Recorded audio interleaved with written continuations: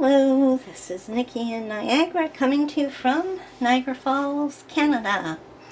And it is that time of month again, the time when all the color tubists gather around the monitor and watch the finished pages videos. I was going to call them movies and watch the videos. I have so much fun at this time of the year. I watch all my people I subscribe to, then I go into the search and I, and I search for completed pages that month and I'll always find some new people that I'm not subscribed to and or old people that I'm just not subscribed to because they don't usually do coloring. But they do do finished pages so I'll always find some new ones then so it's very busy YouTube watching time for me.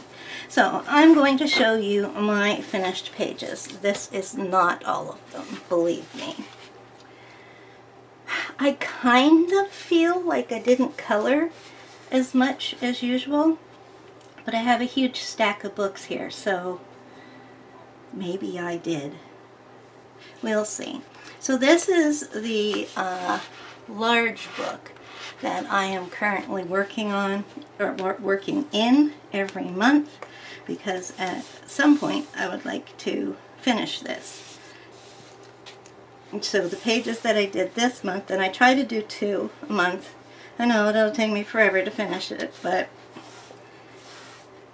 slow and steady wins the race. So I did this one. This is all done in a glitter gel pen and um, it's called the Blue Dart Frog so I decided to uh, go with that color, the blue. Most of mine are not realistic colors. Um, these can be done in, in alcohol marker because all you have on the back is the name of the animal and some, you know, information about it. So if you're not bothered about that, you can use alcohol markers. But I decided that this was going to be a book that I did in, in uh, gel pens because I don't use them for a whole bunch of things. This way they get used for sure. And I did this one, which is a Japanese Harlequin rabbit. I love this blue.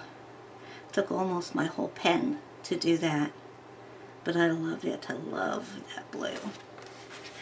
So, oh, and the background on this one, I am pretty sure that's Pan Pastel. No, it's not Pan Pastel. It's a stick of pastel that I rubbed on. On the other one, I didn't do the background. So, there's that. Then the next one was a Jade Summer book, and I did a few in here. This one, and I just absolutely love this light pink as a neutral color. Seems to fit in no matter where you use it. This is one I did I did before, but I used that light pink as a neutral color. Have I done it anywhere else? In here? Yeah, the very first one I did it too. I must be just drawn to it. So I'm going to have to try and use that color but not use red and orange because those seem to be going into it. So yeah, I like this one. It's my favorite in this book. The other one didn't turn out so well. Yeah, I don't know. Those colors are just ugly. I've heard people say you can throw down any colors into a mandala and it's going to look good, but in my opinion, here is the one that breaks your rule. Because this is ugly. I think it's this green that does it. But you know, when I look in the camera to see how you're seeing it, it doesn't look as bad. Maybe I need to like look at it from across the room to like it. And you will also notice that in every book that I show you. There is um, buffer paper in it and I, when I get to it, I will show you why I now leave a piece of paper in every single one of my books. Okay, the next I try to do, I try to do one every month in this too because it's, it, they're very time consuming and I think most of the Creative Haven color by number ones are. And the thing is that I just really don't like what I did. It's too messy.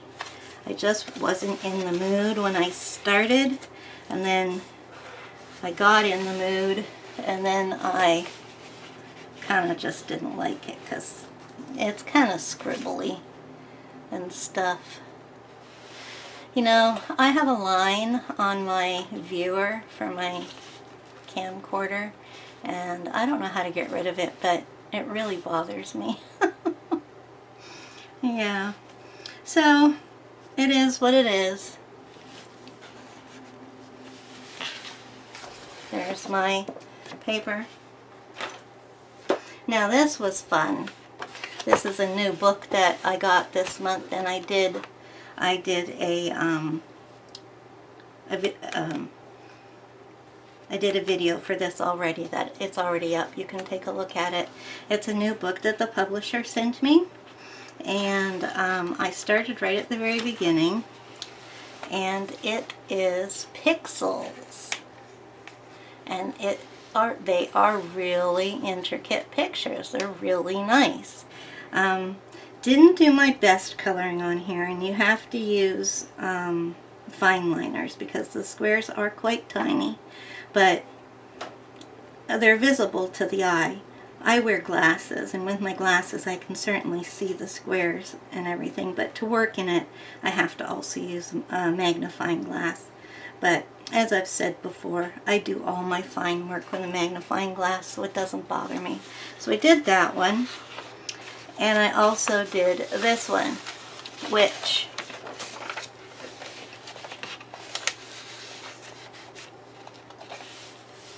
has a story to tell because it almost didn't get finished. So I had done this and a part of the black outline in here. And so she was outlined. And well, I think as, I, as I've said before, I fell asleep. And when I woke, usually there's scribble marks here and there, and I can usually cover them up to a certain degree that I'm happy. But this was messed. It looked like some kid had come into my room and scribbled all over my page and then left but there was this line going down here in black that went right into here and something was drawn in squares. I tell you, I was drawing squares in my sleep because that's what was there, right where I knew her pink and gray ballerina dress was going to go. The other thing is, is that her arm looked like that. I don't know if you can see it, and I thought, I thought I'd colored half her arm I wasn't too concerned about that because I went, well, one-armed ballerina, equal opportunity, no problem there. But I looked at the uh, cover. Thank goodness it's the cover picture because I looked at the cover and I noticed that I hadn't, that her arm went this way. So there was only one square in there that would join this part to the arm over here that I colored in black. So I just wasn't going to finish it because of all the all the um, craziness going on there. But then I thought, you know, just finish it, whatever. It's just, you know, turn the page and you're just going to be coloring squares on a different page. So finish this one up. And, I mean, there is that black in the in the middle there, but it doesn't it's not as bad as I thought it was. Also up here you can tell that I just, you know, there was all sorts of scribbling under the blacks. I just went to town while I was asleep. So here's my buffer paper that I keep in my books from now on. Not because of that. Then I did my two out of here every month because I just love working in this book and I couldn't go through the month without working in it. And these are the two I did. I have absolutely no idea who either of them are, but I'm pretty sure they're both villains and they were a ton of fun to color. The only problem is, and I've done this before, is I get carried away when I'm do when, when I'm doing the black and I colored all, all his eye in black. So there's supposed to be white in there. Thank goodness this time I didn't color in the teeth all black because I did that to Jafar in a different book and he looks like a demon as one of my one of my uh, comment commenters had noticed and I totally agreed with them. So there we go, did those two. Then got me some more coloriage and working in the baby's circle book. And I like to do a two-page spread in this one too. So I did the kitty, which I absolutely love. That turned out adorable. This one I really mucked up because I was trying to do, I was trying to do the lines color in using the lines like the French do. If you're really into these books, you've probably watched a lot of French color tube, and um, I have, and I subscribe to quite a few French color tubers as well. Um, it helps that I can that I can sort of uh, understand French. Well, that's a whole different story. But I went this way, and then I went this way, and it just it just screwed that all up but uh, at least you can tell who it is, right? okay, then this has got to be one of my favorite books, but I am going to retire it for a little bit, and I'm going to go work in one of the other grayscale books by Jade Summer that I have just to see how much, if it's the Chibi Girls that I like so much, or if it's the grayscale. So I think I'll do the kawaii one because they'd be kind of similar to this one. But let's get to what I did this time. I did the very first one, if we can turn it. Oh, this is covering it. There we go. This is the one I did. I used um, used Copics for most of it. I used um, I think Staedtler fine liners for the uh, for the butterflies and for their um, antenna and I used a metallic pen for the insides of her wings and I used uh, oh glitter gel pens for her eyes this one here every time I open up this book I look at this one and I would go, ooh, that one looks too hard to do.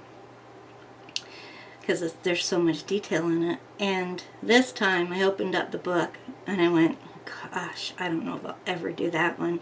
And then I just said, it was like my insights just said to me, yes you are, you're going to do it right now. So I did and it wasn't that hard. I did the whole background first before I did any features did the sky, I did the grass, I did the trees, and then I went in and filled in everything, and it was really easy. And fun. So there's my blotter page. And my next one is from Nightfall. And I did this one.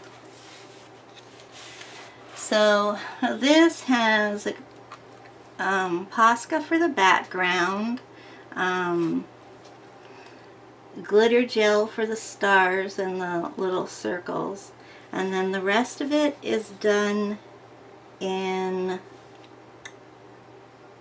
pencil, but I'm Oh, these are from, I'm pretty sure these are from my new ones, yeah. So these are from the Brutfuner or whatever they're called. So yeah, I'm going to practice with putting the shadows in the hair. Yeah, I like that one.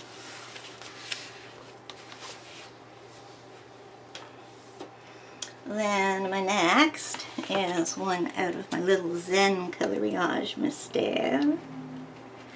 And I did this temple or pagoda or whatever it's called. And I love it. I just love the pictures in here. I like the one from before better for a temple. A close-up of the temple there. This one's... My blues are probably not the greatest. That's why it has a little funny look to it. Okay, and then I cannot keep myself away from this book. The Art of Mandala by Jason Hamilton. And let's see if I can open this up.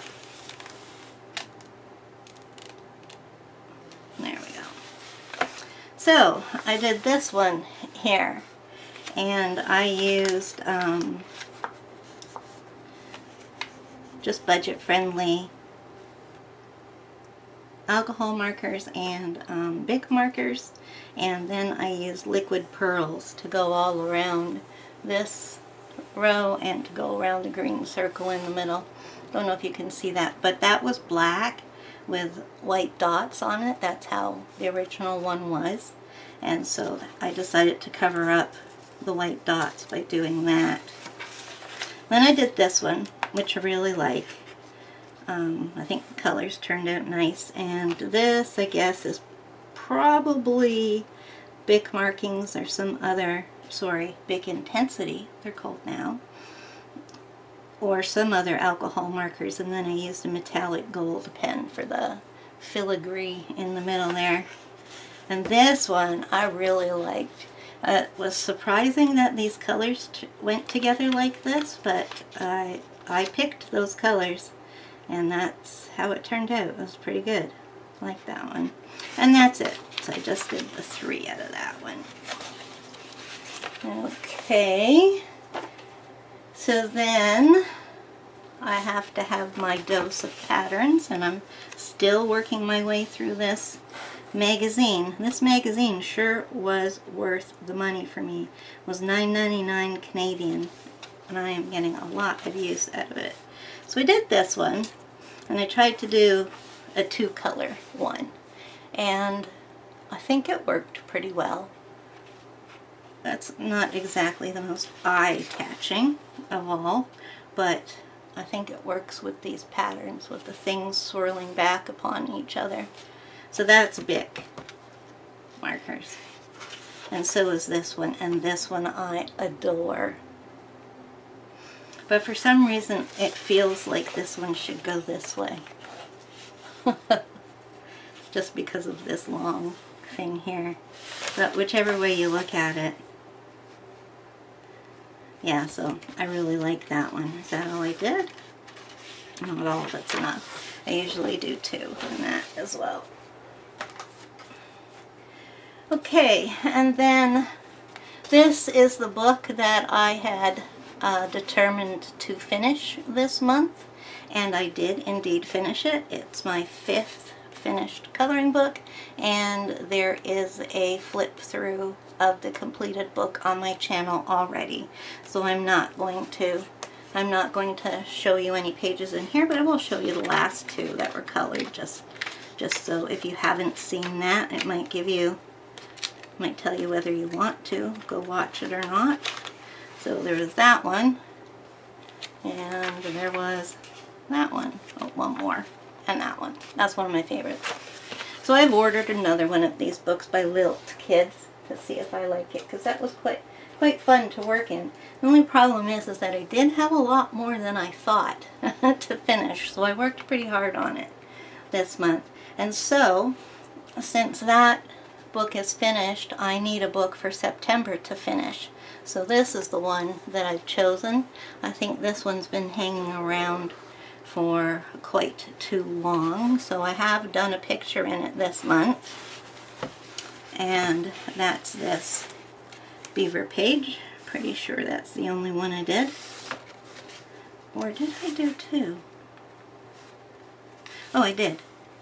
No, I did that one a long time ago. Did I?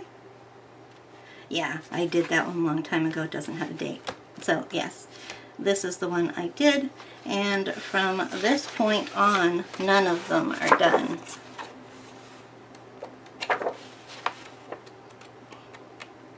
Yeah, and there's quite a few, and these are pretty, these are pretty, um, well, not complicated, but detailed. So, they take more than a minute to do them. Okay, so I ventured into the world of Hannah Lynn this month. I have never colored a Hannah Lynn picture in my map. In my map. Oh my goodness. Sometimes the weirdest words come out of my mouth. So I have never done a Hannah Lynn in my entire life. And ever since I've had this magazine, I've been looking through it and every page was no, no, no, no. And the problem with it is just all the, is the steampunk part of it, all the metal that's in there. I don't, um, I don't think I really would have found it so intimidating if it wasn't for all the metal. And I like steampunk, but I guess I'm just not crazy about coloring it. But once I got over that, I picked a picture and it was here. And that is what I came up with. So for the metal, I just went in with metallic gold and silver because there was some stuff on her that obviously looked like it had to be iron and other stuff that looked like it was probably brass so that's why I chose the gold and the and the silver and uh, I did the background and I did the girl without any of the stuff, so I was left with all the steampunk stuff in it. It, it certainly made it easier that way. So that was my one and only Hannah Lynn book uh, picture that I've done, but I will definitely be coming back to this because I like it. And then we have the Tri-Animal that I did. That the one? Yeah. So this, why do I think, no, this is the one I did, the Poison Dart Frog. And I'm doing the vivid color schemes. This is a this is a color by number book, and I'm using the vivid palette so that, that they will turn out sort of like pop colors. Now this page right here is just a freestyle page so that you can do your own messing around with it. Well, I'm not going to. So that means that I'm going to color this one with alcohol markers. So there's a few pages in here where you can do that. So this one is going to be next in here, and it's going to be alcohol markers. I'm really looking forward to that. Alright guys, why does every book I now have have a blotter page in it? Because of this guy right here. So, this is the picture that I did. This is the picture that I did. And I did all this blue and this green without a blotter page. And when I looked on the other side, it was wrecked all down here. This was this was completely blue and this was green. Or down here was green. So this page turned out nice and I just continued to color it and didn't worry about the next page. But then I thought, you know, I'm either going to have to rip out the next page or I'm going to have to see if I can color over it and get it to work out. So this is the page and you can't tell what I did. Fortunately, the blue covered the blue. Now, most of this ship here had been colored blue, but it's got dark reds and browns and greens over it, so it just it just covered it all up. And in a few places, I had to use I had to use a dark darker color than they had said, or a different color than what they said dark so that it would cover up what was under there. And uh, like here, I used a dark, dark brown for the for the sand, I guess it is. But um, whatever color you were supposed to use wasn't that dark, but I had dark green on here. I can vaguely see it under there, but um, I have to look. I don't think anybody can see it. So, if that ever happens to you, take the chance and see if you can work with it by changing up colors or if you're lucky some of the places will get covered naturally because of color choice. But uh, don't feel down and out right away. That's my advice to you for today.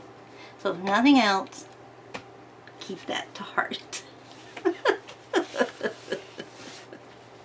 the words and wisdom of Nikki my sister would tell you to run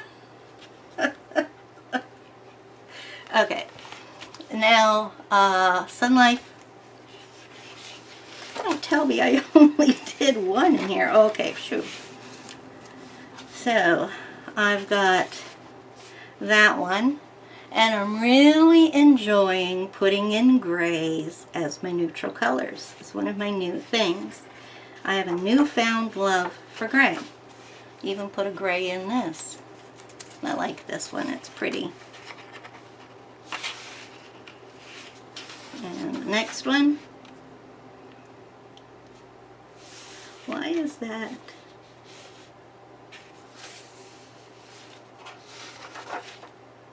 I don't know why that's got some marks on it, like glitter or something. No idea where that came from. There's been no glitter in this book. Okay, so there we go. Um, I don't have a lot to go in here. I mean, there's, you know, there's a few.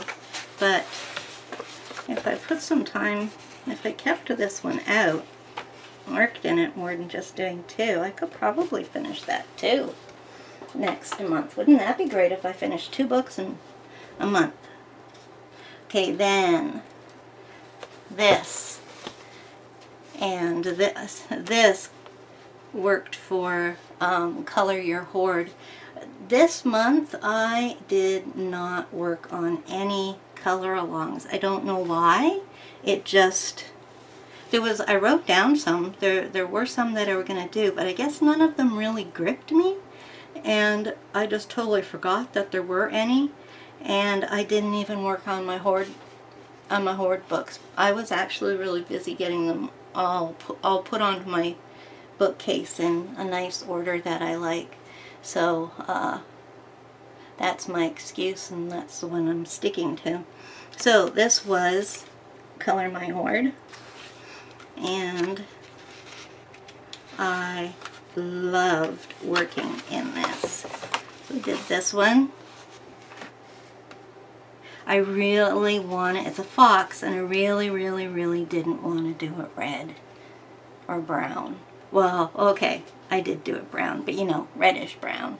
So I really didn't want it to be typical colors, so this is what I did. And the blue added in there is awesome. And then, okay, what's happening? Oh, you know what? I put liquid dots on this and it's not taking it kindly. Must have closed the page before they were dry. That's the problem with the liquid pearls is they take a long time to dry. So here's my owl, uh, my owl, here's my lion. You probably can't see the liquid pearls are here and here and here and here. I don't think I'm going to use them anymore because I can't be bothered to let stuff dry. I need to, if I'm using wet medium, I've got my heat tool right beside me and I've, and there three seconds and it's dry. You can't use heat tools on stuff like liquid pearls. It just burns them. It doesn't make them poof up like they're supposed to. So I think I'm going to put my page there so it doesn't get stuck to the black side again. Yeah, so I only did those two. But I'm really pleased with like the colors that I used on those. Then I did another one in Travel Mosaic. I did, I do one or two? One or two? Yeah, two. So I did a painter, and this is really cool. If you look at what he's painting, it's a car going down an alley, like there's walls on other either side of them, and the car going down, and then up on the horizon is the Eiffel Tower. So then we turn to the next page, and there's what he's drawing the picture of. There's the two walls, and then the Eiffel Tower in the background. I think that is so cute. I hope other people notice that too, because that was neat. So yeah, this is a pretty simple mosaic one to work in, and um, I've gotten the hang now. It took me a while to get the hang of what I was actually going to use, which of my, which of my uh, staples I was, staples, which of my markers I was going to use in here. And it looks like I've settled with a Crayola Super Tips. If you can't find the right thing, try Crayola Super Tips. I used to not like them because they didn't have them when I was a kid and that weird conical nib that's on them, I couldn't for the life of me figure out how to use it. I just like, I made a mess with it. But uh, yeah, I eventually got the hang of it and they are good. They are good markers, that's for sure. For sure, for sure, for sure. And then one of my favorite things to color are mosaics. And this is a Dover Spark book by Jessica Mazurkiewicz. And I did the first page in here. And that is all. This was done with my Color Softs. So it's all done in pencil on my Color Softs. And these are single-sided too. Oh, I used a black Sharpie to fill in, fill in the places right here because they were already black, I think. Yeah, and I just wanted it to be uniform. So, there you go. Then another Dover Spark came up. And that's the mandalas. And I did Oh, I started from the beginning in this one too. August 11th. I did the uh, title page. And then I colored the, the little thing on the top here. This obviously was in alcohol markers and it didn't matter. But this one was behind the title page, so I used water, water-based markers for that, fine liners. And then I did this one and, and that's it.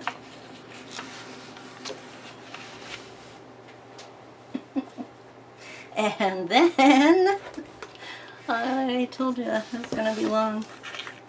Okay, so Color Me Calm by Angela Porter. And I did one of these. I think. Okay, no. I never do one mandala. I always do at least two. So I did this one. And that's pretty good. I usually don't do well with a dark color palette, but I think I succeeded there. See, then I go back to bright. That's, that's my comfort zone right there. Yeah, those are the only ones I've done.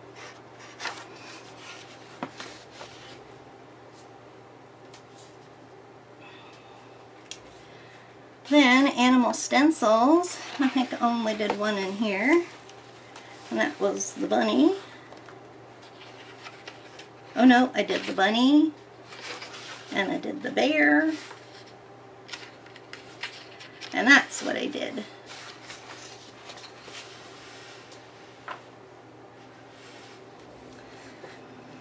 And then, this is another book that I work in every month, just when I don't have too much to do and I want to color. So this is my three color mandalas. They're just little simple ones and the book is Coloring Mandalas for Meditation by Armel Troyon. He's got a second book out too. So these are just really simple mandalas and I am practicing doing three color mandalas with them. So this is uh, super tips on, on both of these pages. And that's all I did. I thought I did another one. Oh, that's an old one I did a long, long time ago in paint pens. Okay, so yes, that's all I did. That one doesn't have a blotter page in it. Okay, then this is the Zen Doodle book I'm working on for until it's spring. So we did this one.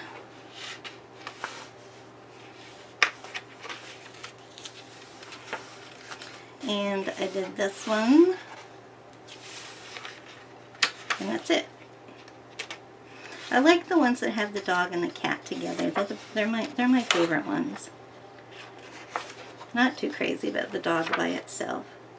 not a big fan of dogs anyways. I, kind of, I, I always say it with this book that it kind of bothered me that it's called Playful Pets.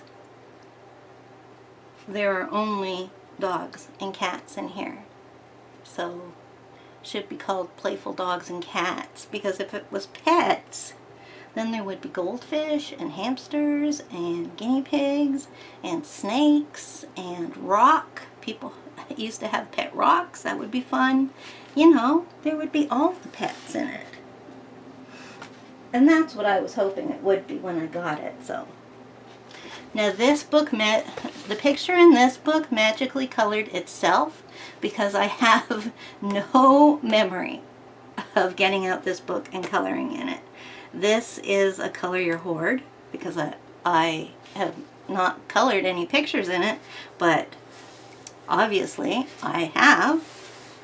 So they tell me this. I don't know. I honestly can't tell you anything about this. As done with fine liners. I must have done it one night before Hmm. Nothing went through, just tiny bit of ghosting. I must have been doing it at night and I was so tired that I just blocked it out of my memory. But there's absolutely no scribbling on it either. So your guess is as good as mine. If this book is going to color itself, then hey, I'll just keep it out and next time I open it up there'll be some more pages. It is magical.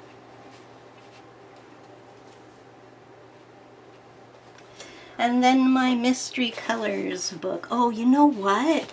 I wanted to finish this because there's a, I should be working on the new volume that's out. Can I do that? Oh. You know what?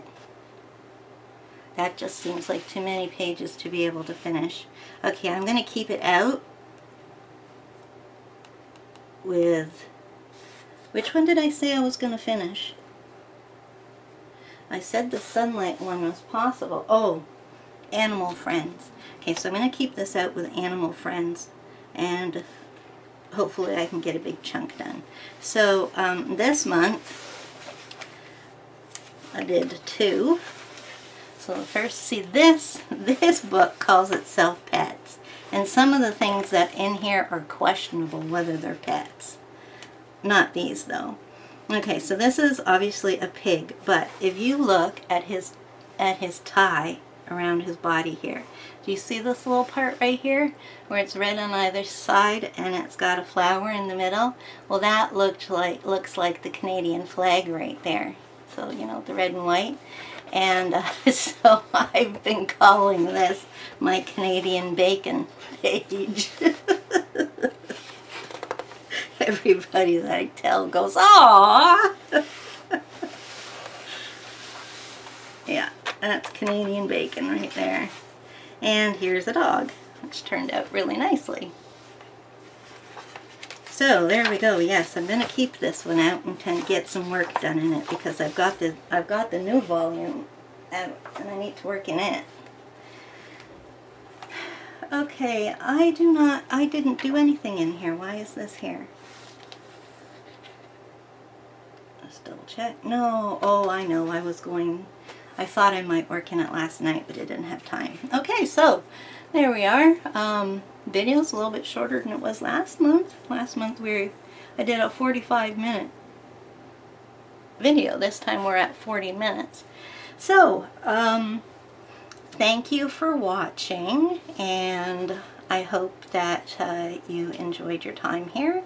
Uh, hopefully you got inspired by some of the things I had to show you. Maybe some of those uh, books you uh, want to pick up. If any of them you want me to do a complete flip through of, just let me know. I am working on on uh, adding flips to all my books, but um, if though if any of those don't already have a flip, then they won't be getting one unless I'm asked for it, because I'm putting new books flips onto new to me, uh, putting up flips for them. So yeah, if you want if you want a flip of those books, then just let me know and I'll put them on top of my pile. Also, if you ever want to uh, do a color along or a buddy color from any of those books or any book you know that I have, just ask me.